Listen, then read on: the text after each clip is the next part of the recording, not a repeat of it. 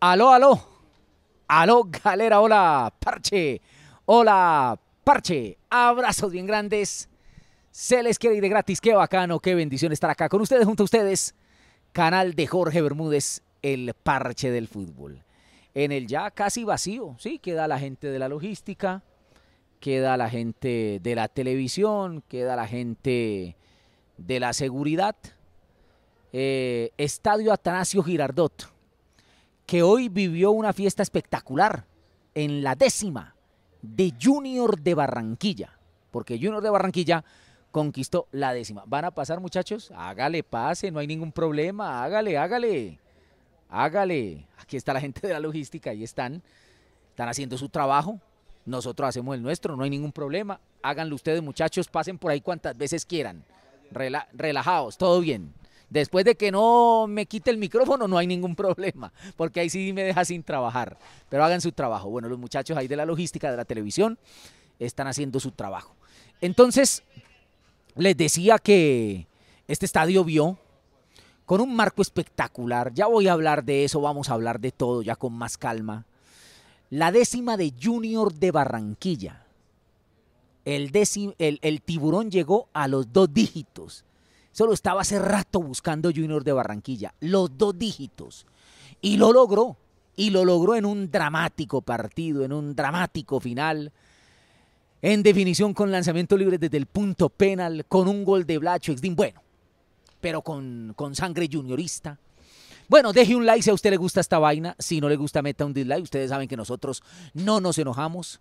Opinen ahí en la caja de los comentarios. Los queremos leer a todos, a los hinchas del DINA, a los hinchas del Junior. Ahí en la caja de los comentarios. Manifiéstese, usted manifiéstese. Hágase sentir. Y suscríbase a este canal que es el número uno del fútbol de Colombia, el canal de Jorge Bermúdez y el parche del fútbol. Voy a arrancar por, uh, por la atmósfera espectacular. Yo he tenido la oportunidad, gracias a esta profesión, de estar en muchos lugares del mundo, en finales de Champions, en finales de Libertadores de Sudamericana, en eliminatorias, en campeonatos del mundo. Estuvimos en Qatar, que fue catalogado desde el punto de vista del espectáculo, el mejor mundial de toda la historia. Y lo que hoy vimos y sentimos en este Atanasio Girardot, la verdad no tiene nada que envidiarle. Y no es porque me quiera congraciar con los hinchas del DIN, no, de ninguna manera, de ninguna manera. Pero si hay que reconocerle a la gente, hay que poner, hay que colgarle, hay que ponerle las medallas y colgarle las medallas a quien se lo merece. No hay que ser mezquino y quitárselas. El hincha del DIN se comportó, no 10 puntos, 500 puntos y estuvo a la altura el espectáculo el espectáculo. No estoy hablando todavía del juego, ya voy a hablar del juego y del título y toda la cuestión. De Medellín, de Junior, de la décima, en fin. No, el espectáculo estuvo a la altura de los grandes espectáculos del mundo. La previa, la pólvora, el recibimiento, el fervor, la pasión, eh, a las afueras del estadio, la llegada del DIN. Fue espectacular, brutal, brutal, brutal. Eh, el mosaico en el estadio. Eh, llegó un instante en el que el estadio quedó blanco, totalmente blanco, del humo, bueno, de todas esas cosas, ¿no? Eh, la pasión del hincha, del Medellín, ese fervor, ese entusiasmo, esa alegría con la que llegó a este estadio, absolutamente todo, absolutamente todo. En el entretiempo el espectáculo de luces fue también maravilloso, de otro nivel, de otro nivel. Y yo he estado en muchas finales del fútbol colombiano, les quiero decir, en muchas, muchas, muchas cubrí en mi época de reportero en Win, en RCN. Y la verdad, lo que vi hoy aquí fue de un nivel, vea, top. Y nada que envidiarle a los grandes espectáculos del mundo. Eh, y Madein Colombia, Madein Medellín. Entonces hay que colgarle las medallas a la gente del poderoso de la montaña, a su logística, a su hinchada, a su dirigencia. Hubo música, baile, de todo. Porque la verdad lo han hecho de forma espectacular. Y hay que darle un aplauso. Campeones eh, en eso. Campeones en eso. campeones en eso. Incluso me atrevo a decir que fue mejor eh, el, el espectáculo de este partido que el de Barranquilla. Totalmente, absolutamente. Eh, también, evidentemente, ese partido se jugó en la tarde, este se jugó en la noche y, presta, se presta más jugar en la noche pues para, para el espectáculo, la pirotecnia, las luces, el show, etcétera, etcétera. Listo, capítulo cerrado, felicitaciones porque la dejaron bien arriba, nivel top de la hinchada del DIN, de su organización, de su logística, para armar este espectáculo futbolero. Eh, después, el partido en el primer tiempo, Medellín fue Medellín y Junior fue Junior. Junior uh, salió a buscar el partido. Medellín también, naturalmente, pues estaba obligado, iba perdiendo, estaba en su estadio, había una inyección anímica tremenda por todo, todo, todo ese, toda esa atmósfera, toda esa mística. Eh, y Junior fue Junior, Medellín fue Medellín. Junior llegó tres veces hay una increíble que para Mosquera Marmolejo, otra en el palo, otra de fuera, que el arquero la manda al rincón. Fue figura Mosquera Marmolejo en el primer tiempo y el palo salvó al Medellín. Medellín convierte un gol en un despiste de la gente de Junior. Dejaron solo a Varela y Varela metió un martillazo de cabeza atrás, un tiro de esquina. Eh, y Medellín llegó un par de veces más. Entonces, en ese orden de ideas podríamos decir que eh, ambos eh, no traicionaron su esencia y no traicionaron su ser. Ni Medellín ni Junior. Medellín empató el match. Ya en el segundo tiempo Junior arranca un poco frío, echa para atrás y Junior echando para atrás no es muy bueno. Junior echando hacia adelante es bueno. Echó para atrás y Medellín asumió el control del partido y al asumir el control del partido, ¡pum! cae el segundo y Medellín lo da vuelta, porque con el 2-0 ya lo daba vuelta. Y el partido sigue y Medellín tiene y se pensaba, por lo menos eso estaba en el ambiente, que Medellín concretaba el tercero y chao, definía la película. Y llega un momento en el que el técnico del Medellín, el profe Arias, decide hacer cambios, muchos cambios, meter eh, tres centrales, defensa de cinco, cuatro centrocampistas para aguantar los últimos 15 minutos. Y claro, Junior se viene con lo que puede. No era muy claro Junior de Barranquilla. Y aquí va a estar la controversia, ¿no? Por los lados de la gente del DIN. Eh, fue culpa del, fue, no, responsabilidad del entrenador haber hecho esos cambios, haber eh, mandado el mensaje, listo, nos metemos atrás y vamos a aguantar a la uruguaya, a la típica charrúa, soportando, montando el autobús, o los jugadores. Porque, a ver, yo pregunto, si el técnico planea, plantea, plantea una línea de cinco atrás, más cuatro, ¿por qué Blacho en esa jugada, en la jugada del gol de Junior de Barranquilla, por qué Blacho está solo? y tiene, dispone de todo el tiempo y el espacio para controlar, acomodarse y ¡pum! sacar un zapatazo. ¿Por qué está solo, Blacho? Por eso planteó el debate y que los hinchas del DIN respondan ahí en la caja de los comentarios. ¿De quién es la responsabilidad? ¿O es de todos? Del técnico que tomó una decisión. Vamos a jugar de contra, vamos a meternos atrás, vamos a meter mucha gente atrás y listo.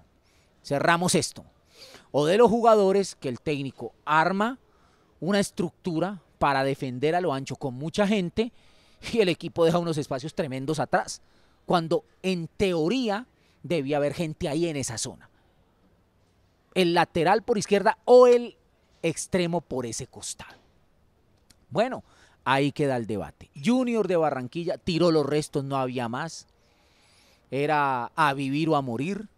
Y Blacho la mandó a guardar como era. ¿ah? Sí, dispuso de mucho tiempo y espacio, pero también hay quienes disponen de mucho tiempo y espacio y la tiran por fuera o patean mal. Este no, este la clavó al rincón y le dio el empate en la eliminatoria a Junior de Barranquilla. Lo que es la categoría es la categoría.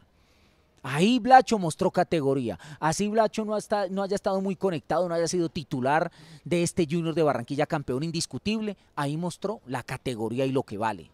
Vladimir Hernández. Listo, y vamos a lanzamientos libres desde el punto penal. Y ahí llegaba, por lo que pasó en el remate del partido, creo yo, con más aire en la camiseta junior de Barranquilla. Y empieza Carlos Vaca, la manda a guardar. El motor ratón Torres la pierde. Pateó mal. Mele al centro la paró.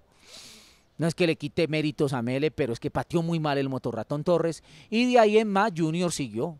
Todos convirtieron. Eficacia total calidad absoluta en los lanzamientos libres desde el punto penal, patearon 5 y 5 convirtieron y Junior ganó la décima.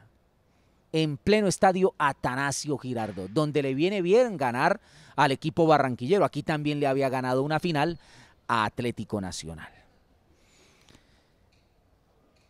Y yo quiero eh, decir varias cosas de Junior y después del Medellín, ya como colofón, ¿no? Junior, eh, primero eh, hablo del plantel, del equipo. Se, se, lavó la cara, se reencontró con la hinchada. La hinchada estaba afligida, la hinchada de Junior venía de golpe en golpe, venía de dolor en dolor por lo que había pasado en el último tiempo, en ligas domésticas, en torneos internacionales. Estaba muy apática la gente del Junior. No le habían perdido el amor porque el amor por un equipo nunca se pierde, pero sí estaban distanciados, sentimental y espiritualmente del equipo. Y se necesitaba reconquistar. Yo siempre en mis comentarios mandaba ese mensaje. Lo primero que tiene que hacer eh, Junior de Barranquilla como club, le hace jugadores, cuerpo técnico, la misma dirigencia, es reconquistar al hincha juniorista, porque le han dado muchos golpes y este equipo lo reconquistó. No solamente por el título, si Junior no gana el título estaría diciendo exactamente lo mismo, que este equipo reconquistó el corazón del hincha de Junior de Barranquilla. Eh, ¿Por qué? Porque hay una identificación. En la nómina titular de este Junior campeón, seis son jugadores de la costa y esa sí se la ganó toda Arturo Reyes. Dele todos los, uh, póngale todas las medallas a Arturo Reyes porque se la ganó todita. Él cuando llegó dijo, necesitamos jugadores de la costa y los empezó a traer, después se fue, llegaron y vea, Junior gana con Balmer Pacheco, con uh, Peña, con Fuentes, con Homer Martínez, con uh, Carlos Vaca, con Enamorado, 6 de 11. Y en el banquillo un técnico costeño un técnico de la costa norte de Colombia también, que nunca había ganado Junior con un técnico costeño un título. Y claro, eso, de, eso, eso, eso genera sentido de pertenencia. Eso genera feeling, eso genera afinidad. Y eso lo recuperó este equipo. Esa afinidad con, con el mundo junior. Junior ganó en el mundo Junior, Junior ganó en su mundo este título, en su mundo, así, así, así, en su mundo, con los suyos, con los suyos, no es que esté sacando a Cariaco, a Didier, no, no, no, pero estoy dando una significancia de lo que es el sentido de pertenencia, el valor del sentido de pertenencia. Y este equipo logró eso, y logra el título de esa manera. Y en eso tiene mucho valor eh, Reyes.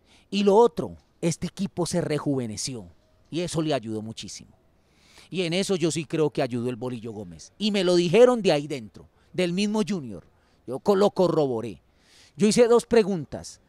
Bolillo, em, Bolillo limpió el vestuario y rejuveneció el equipo y me dijeron, limpiar el vestuario no tanto.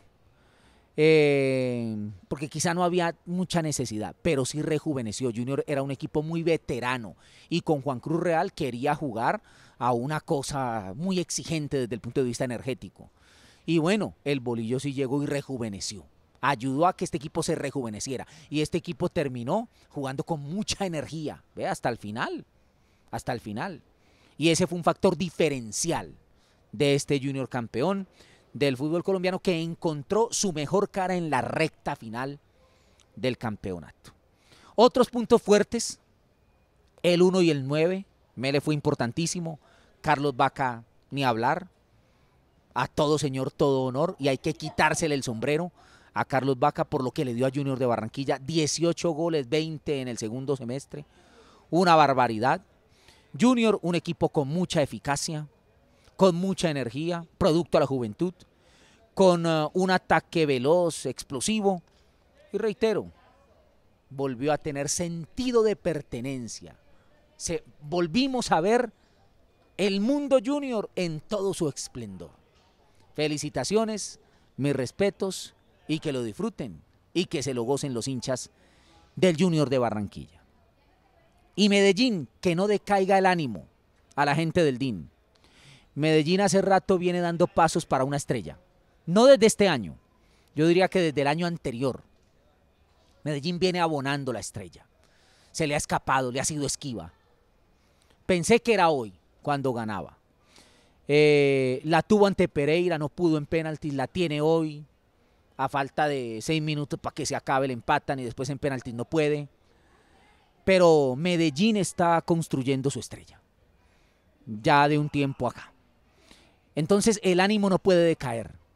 Hay que levantarse, hay que fortalecer. Así como se levantaron de la caída ante el Pereira, Medellín se levantó para competir internacionalmente, para estar en Copa Libertadores.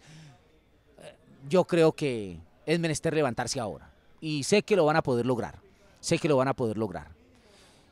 Porque se está invirtiendo en buenos planteles. Medellín reinvierte la plata que se gana en mejorar su plantel, en mejorar su plantilla, en hacer una plantilla competente, competitiva para el medio colombiano.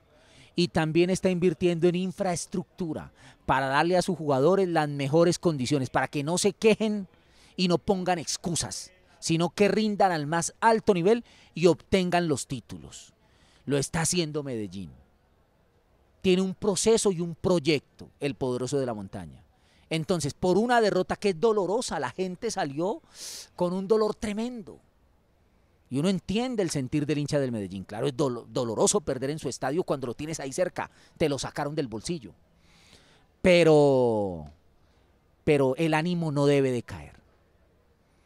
Eh, la proyección no debe parar la intención de tener un proyecto fuerte, sólido, estable, grande, no debe frenarse en el poderoso de la montaña. No, se debe fortalecer, creo yo. Creo yo que se debe fortalecer, porque estas derrotas lo que hacen es fortalecer el espíritu y las ganas de superación. Porque repito, Medellín está caminando hacia una estrella, ya se le ha escapado en dos oportunidades, pero este es un equipo que tiene argumentos para ser campeón del fútbol colombiano. Pasa que solamente gana uno y el fútbol es como la vida, muchas veces va por los caminos más inesperados. Medellín era el favorito y yo se los dije para esta final. Y no pudo ganar, terminó ganando Junior de Barranquilla. Pero gente del medallo, que el espíritu no decaiga, hay que fortalecerse en la derrota y hay que continuar, porque es muy lindo el proyecto que tienen, porque piensan en grande ustedes piensan en grande. Medellín hoy está pensando en cosas en grande y como equipo grande, en grandeza y con grandeza. Ese es el camino por el que hay que continuar porque tarde que temprano la estrella llegará y la séptima se pondrá en el escudo. Se les quiere de gratis. Opinen ustedes, los quiero leer ahí en la caja de los comentarios. Un abrazo y chao, chao, sí. Chao, chao, chao, parche.